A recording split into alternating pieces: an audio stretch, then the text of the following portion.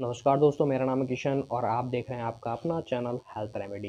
ये दोस्तों, आज हम यहाँ पे बात करने वाले हैं कुमारी के बारे में, जिसका नाम कई जगह अलग अलग नामों से भी बुलाई जाती है, या ग्वार का पठा भी बोला जाता है ग्रह कुमारी भी बोला जाता है, ग्रह कन्या भी इसको बोला जाता है। इसी के बारे में हम बात करेंगे और जानेंगे कि ये किस रोगों में काम आती है। अगर आप इसको लेते हैं तो ये मुख्य रूप से पित्त को विरेचन के काम में आती है। ये दोस्तों, यानी कि अगर आप इसको लेंगे तो आपके एसिडिटी है, उसको न्यूट्रलाइज करेगी। बाकी स्किन डिज़ीज़ में अगर मैं बात करूँ तो काफ़ी सारे लोग इसको फेस पे यूज़ करते हैं और भी कई जगह पे इसका यूज़ देखने को मिलता है। आपके अगर आसपास कहीं पर है तो आप इसे किस तरीके से यूज़ कर सकते हैं और आपको कितनी ही क्वांटिटी में लेना है, ज़्यादा आप ना लेना है। तो ये सारी बातें इस वीडियो में करेंगे तो चलिए वीडियो को स्टार्ट करते हैं। जैसा कि मैंने आपको बताया कि घृत कुमारी को पित्त विरेचन बोला जाता है, यानी कि इसलिए क्योंकि पित्त को विरेचन करती है।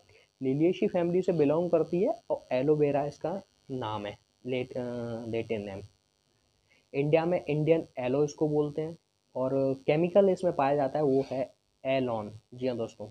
जो, वो बहुत ही गुणकारी है और काफ़ी सारे लोगों को देखने को मिलता है कि ये जो एलॉन है, उसकी वजह से ही ये इसमें क्या बहुत ही लिपिल सा पदार्थ होता है। अगर इसका जो पार्ट है वो यूज़ किया जाए लीफ को यूज़ किया जाता है, जो कि के रूप में देखने को मिलती है स्वरूप ये ती, एक से तीन फीट तक बढ़ता है पौधा इससे ज़्यादा ये नहीं बढ़ता।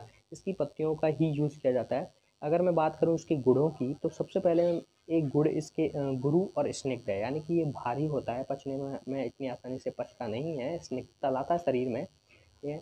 और अगर मैं बात करूँ इसके पित्तक है। अगर मैं रस की बात करूँ तो तिक्त है तीखा होता है ये। अगर मैं विपाक की बात करूँ तो उसका कटु है और वीर्य इसका उष्ण है, जिसकी वजह से हम अगर इसको लेते हैं तो ये आपके शरीर में ऊष्णता लाएगा, गर्माहट लाएगा। यह दोस्तों, अगर मैं बात करूँ प्रयोग किस, किन रोगों में इसका प्रयोग किया जाता है, बल यानी कि शरीर को बलवान बनाएगा। बात पित्त, हर यानी कि बात अगर पित्त अगर आपको होता है तो वहाँ पे इसको कम करेगा। जिनका बल है, ज़्यादा हो जाता है उसको कम करेगा और कम को ज़्यादा। यानी कि आपके लिए देखा जाए तो ये बहुत ही गुणकारी औषधि है।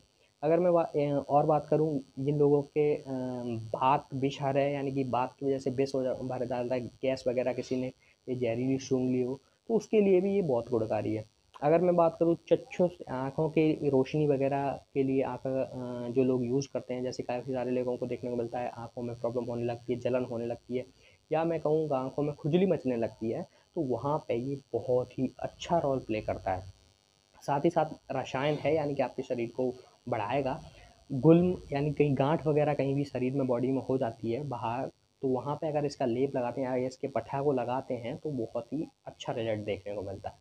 लीवर के लिए बहुत ही फ़ायदेमंद है। लीवर में अगर आपको प्रॉब्लम हो जाती है किसी फैटी लीवर या, या होता है तो वहाँ पे लीवर को न्यूट्रलाइज करेगा। एल एलर्जिक रिएक्शन में भी इसका रोल देखने को मिलता है। अगर मैं बात करूँ मात्रा की इसकी तो ज़ीरो पॉइंट वन से ज़ीरो पॉइंट टू ग्राम, इससे ज़्यादा आपको नहीं लेनी, अगर लेते हैं तो कंज्यूम करते हैं, खाते हैं इसको तो। अगर मैं लगाने के लिए जहाँ पे जितना आपका एरिया है, उस हिसाब से इसको यूज़ कर सकते हैं।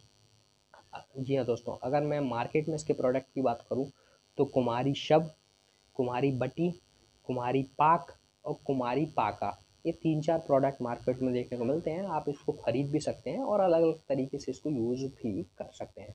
तो ये सब मैंने आपको कुम्हारी के बारे में बताया। मुख्य रूप से इसका जो प्रयोग है, वो किया जाता है आपकी आइज़ या फिर फेस पे जो भी पिंपल्स या फिर मैं बात करूँ रफनेस आती है काफ़ी सारे लोगों को देखने को मिलता है ब्लैक स्किन हो जाती है तो वहाँ पे लोग इसको यूज़ करते हैं। ये एंटी इन्फेक्शन भी है, क्योंकि बहुत ही कड़वा होता है। अगर इन्फेक्शन वगैरह होता है तो वहाँ पे ये क्योर कर देगा स्किन पे। तो ये सा आई होप मेरा वीडियो आपको अच्छा लगा होगा। वीडियो को लाइक शेयर कमेंट और चैनल को सब्सक्राइब करना ना भूलें। Thank you so much for watching my video